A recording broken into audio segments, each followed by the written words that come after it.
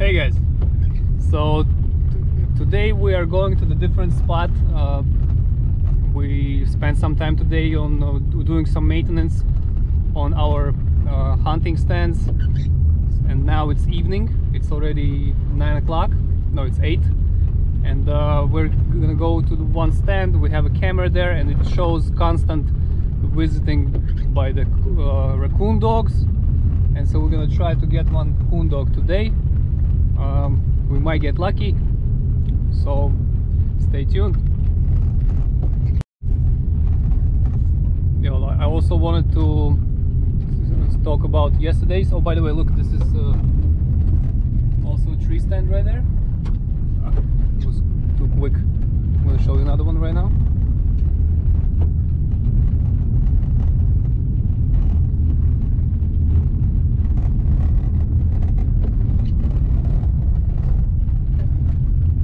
so yesterday hunt was uh, well, it, it was successful.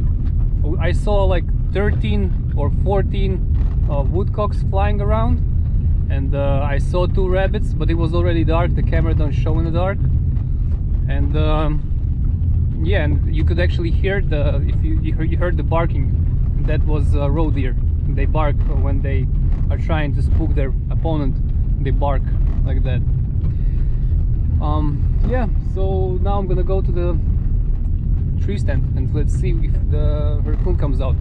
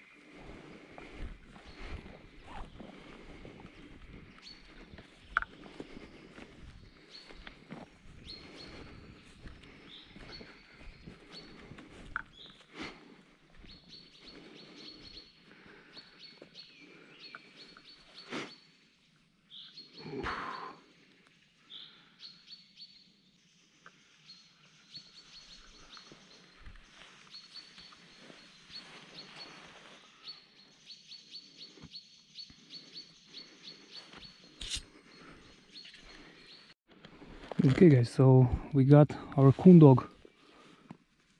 This is this is the coon dog. Um yeah, so I shot it with the 306 3006 with the rifle bore. Got uh, hit it in the neck and uh, it just fell down. So good, good, good start. Uh, we're gonna stay and we're gonna try to get one more. So let's stay tuned.